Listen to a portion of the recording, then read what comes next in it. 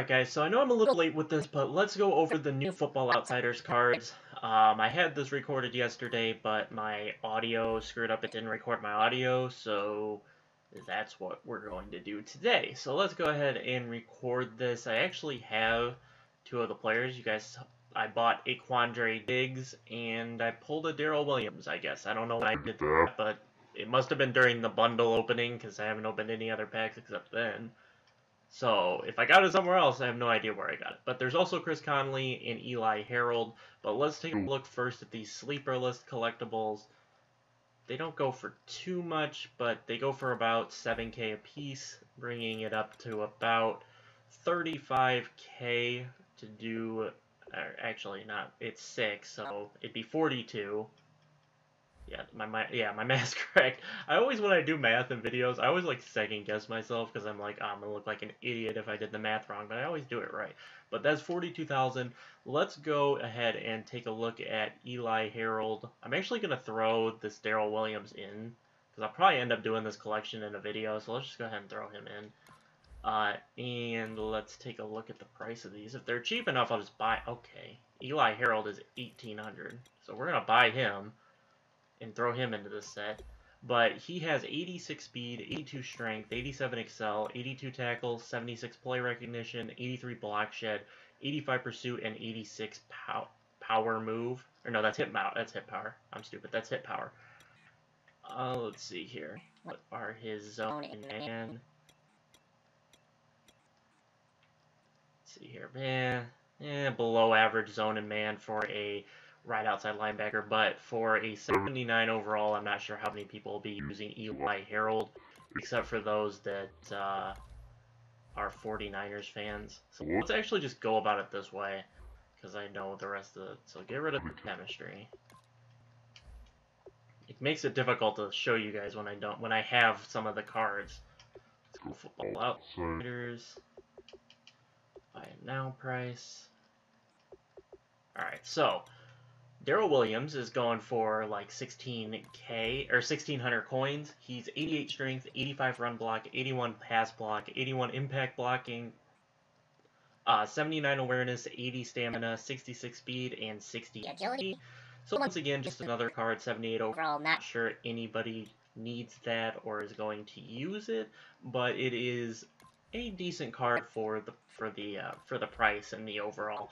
Next is this Chris Conley at 81 overall. He's like a mini Julio for this game.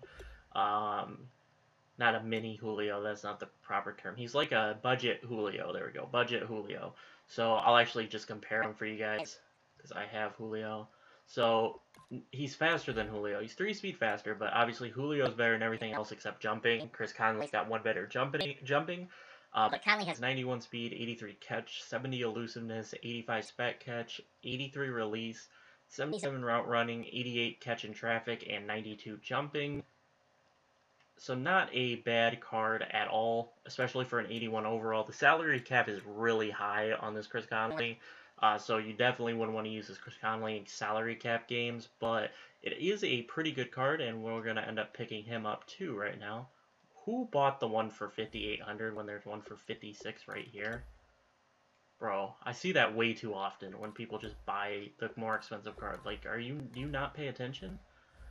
And then finally we have the card that I bought, which is Quandre Diggs. I guess this isn't the final one because we do have we do have the uh, Elite, the Thomas Rawls. So Quandre Diggs going for 3,000 coins. He's got 87 speed, 86 excel, 86 agility, 84 man, 87 zone, 76 press, 83 play rec, and 69 catching. Really low catching. He plays, I think, at a 79 at free safety.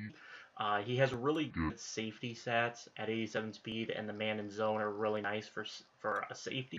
So you definitely can throw this guy in and for safety. Um, I was using him in a salary cap game uh, earlier, or I was having, I had him in my lineup earlier until I freed up a few extra dollars to go up uh, from him, but he is a really solid card.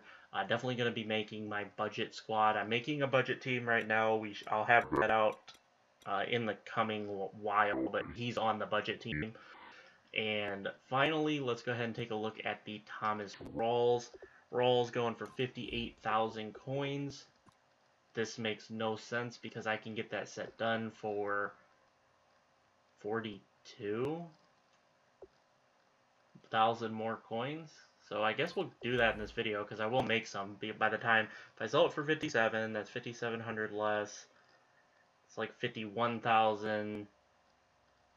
I would make minimal coins off of it. Okay, I will I will work on sniping those collectibles and then I'll throw like I did, I'll throw a couple of collections into a video with some music, and that'll be the Thomas Rawls. But let's take a look at Thomas Rawls' stats. He's an 80 over, 86 overall halfback, and he has 89 speed, 85 agility, 80 acceleration, 90 carry, 91 ball carrier vision, 80 elusiveness, 91 trucking, and 88 juke move. Let's take a look at his catching. Uh, 68 catching, so not going to be one of your backs that you have receiving the ball out of the backfield. So keep that in mind. Decent jumping, so he could go up for a little bit of a jump ball. He's got good uh, stiff arm and spin to go along with the juke move.